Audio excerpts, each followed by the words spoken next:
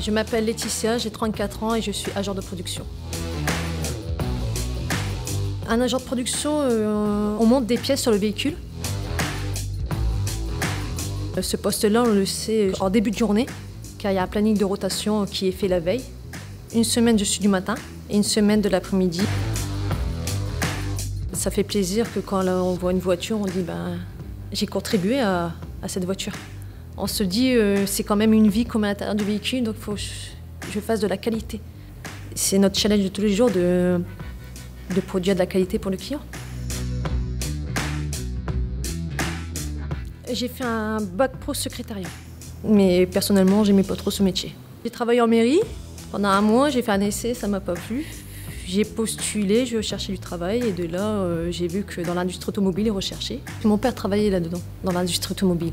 Donc, euh, il m'expliquait un peu comment ça fonctionnait. Ce qui me dans ce métier, c'est l'ambiance de l'industrie. C'est une ambiance où les gens sont très très solidaires. On s'entraîne. Dès qu'il y a un souci, euh, les autres personnes viennent nous aider. Je pense que c'est un métier accessible à toute personne motivée à l'écoute. Et après, il n'y a pas de souci, euh, ils sont formés, donc ils ne sont pas perdus. Pendant 4 ans, j'étais intérimaire. Au bout de ces 4 ans-là, je suis passée en CDI. Quelques années après, au bout de 9 ans, on m'a demandé de passer en tant qu'animateur d'équipe. Je vais manager 7 personnes. Et quand on m'a proposé, on m'a dit euh, passe animateur d'équipe, j'en étais fière.